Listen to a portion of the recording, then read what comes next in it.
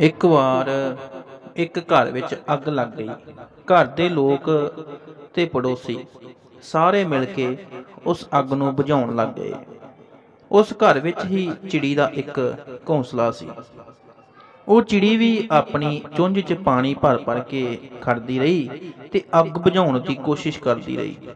ਉਹ ਵਾਰ-ਵਾਰ ਜਾਂਦੀ ਪਾਣੀ ਲਿਆਉਂਦੀ ਤੇ ਅੱਗ ਤੇ ਪਾ ਜਾਂਦੀ। ਸਾਹਮਣੇ ਇੱਕ ਰੁੱਖ ਤੇ ਬੈਠਾ ਕਾਂ ਵੀ ਇਹ ਸਭ ਦੇਖ ਰਿਹਾ ਸੀ। ਉਹ ਚਿੜੀ ਨੂੰ ਕਹਿਣ ਲੱਗਾ, ਉਹ ਪਾਗਲ, ਤੂੰ ਕਿੰਨੀ ਵੀ ਕੋਸ਼ਿਸ਼ ਕਰ ਲੈ। ਤੇਰੇ ਬੁਝਾਉਣ ਨਾਲ ਇਹ ਅੱਗ ਨਹੀਂ ਬੁਝਣੀ। ਤੂੰ ਬਸ ਐਵੇਂ ਹੀ ਖੇਚਲ ਕਰ ਰਹੀ ਹੈ ਆਰਾਮ ਨਾਲ ਬੈਠ ਕਿਉਂ ਨਹੀਂ ਜਾਂਦੀ? ਚਿੜੀ ਨੇ ਬੜਾ ਹੀ ਸੋਹਣਾ ਜਵਾਬ ਦਿੱਤਾ, ਕਿ ਮੈਨੂੰ ਪਤਾ ਹੈ, ਮੇਰੇ ਬੁਝਾਉਣ ਨਾਲ ਇਹ ਅੱਗ ਨਹੀਂ ਬੁਝਣੀ, ਪਰ ਜਦੋਂ ਵੀ ਇਸ ਅੱਗ ਦਾ ਜ਼ਿਕਰ ਹੋਵੇਗਾ, ਮੇਰੀ ਗਿਣਤੀ ਬੁਝਾਉਣ ਵਾਲਿਆਂ 'ਚ ਹੋਵੇਗੀ। ਤੇ ਤੇਰੀ ਖੜ ਕੇ ਤਮਾਸ਼ਾ ਦੇਖਣ ਵਾਲਿਆਂ 'ਚ। ਇਹੀ ਹਾਲ ਸਾਡੀ ਜ਼ਿੰਦਗੀ ਦਾ ਹੈ। ਸਾਡੀ ਜ਼ਿੰਦਗੀ 'ਚ ਬਹੁਤ ਸਾਰੇ ਲੋਕ ਐਵੇਂ ਦੇ ਹੁੰਦੇ ਨੇ ਜੋ ਸਾਡੀ ਮਿਹਨਤ ਨਹੀਂ ਦੇਖਦੇ, ਪਰ ਸਾਡੀ ਹਾਰ ਦਾ ਤਮਾਸ਼ਾ ਦੇਖਣ ਲਈ ਹਮੇਸ਼ਾ ਤਿਆਰ ਰਹਿੰਦੇ ਨੇ। ਐਵੇਂ ਦੇ ਲੋਕ ਕਦੇ ਵੀ ਸਾਨੂੰ ਕਾਮਯਾਬ ਨਹੀਂ ਹੋਣ ਦਿੰਦੇ।